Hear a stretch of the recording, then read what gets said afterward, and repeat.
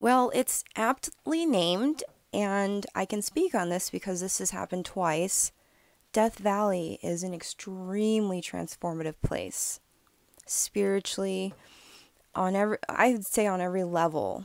When you go down there, you are going to um, go through a soul movement of some sorts. And the first time it happened to me, it was actually rather traumatic. I was thankfully with a friend, and we were just overnighting in the park on our way up north. And it was really scary.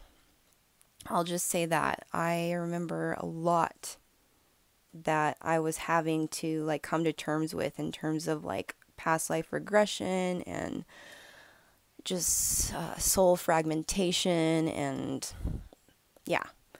So fast forward to last week, I was moving through the area, uh, trying to avoid it, not wanting to go through the park at all. But I found myself in the region and I was going through similar effects. It was very uh, shamanic, very uh, surreal experience. But anyway, I'll get to what I wanted to talk about in the video because I guess most of us know that these places are really intense. But what some of us don't know is that Highway 95 in Nevada is haunted. I want to talk to you about the experience I had, give you a little ghost story, and it's cool. It's not scary. I actually had like a friendly ghost experience. This trip was really fun. I had just a really good time, like exploring brand new area. Uh, one of the overnight stays, really safe, really clean, fun for the dogs. It was like a pond and two, I think they're like geese or something, but they were so cool with T Rex, and it was just, it was so fun. But down the way a little bit, there was this casino that had been there for a while, and the area was really desolate, like really out in the middle of nowhere. And the casino was named after this guy, Longstreet. And I was, you know, looking up on my phone, like trying to get service, like, what is this casino about? You know, why why did they name it after this guy? And I couldn't really get service, but I knew that they had Wi Fi over in the casino. So I just wandered over there with Opie, actually. And all of a sudden, I just like tune into a whole nother like vortex world. I could see so many spirits and like I could see just it was really cool. There's another place that this reminded me of Jerome, Arizona, which is totally known for being haunted. But it was the same vibe. It was almost like there was a party going on on another dimension and you could just like almost pick it up. But the ghosts were happy.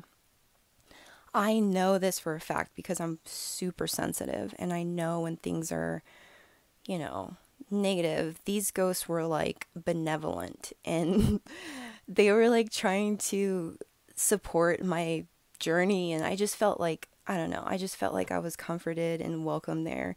And I ended up reading up on Longstreet and this guy is like a badass, you know, just he he did a lot for his community and I felt his spirit so crazy there.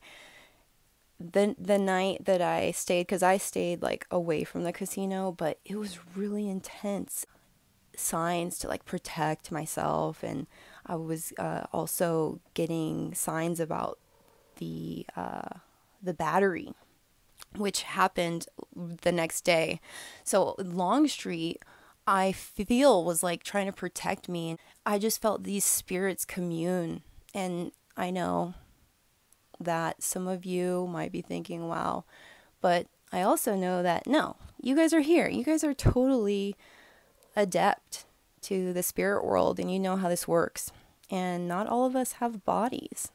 And some some spirits just like work in other realms. but anyway, I just thought that was so cool driving up this highway 95 just so remote but feeling the connection to the land. That historical part of it is so interesting and that's what I've started to get into more.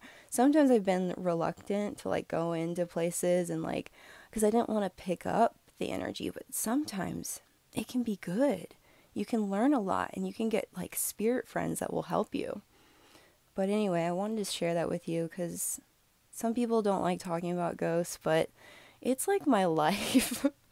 I'm just, you know, I'm Casper myself up on here, and we're chilling, just enjoying the subtle energies,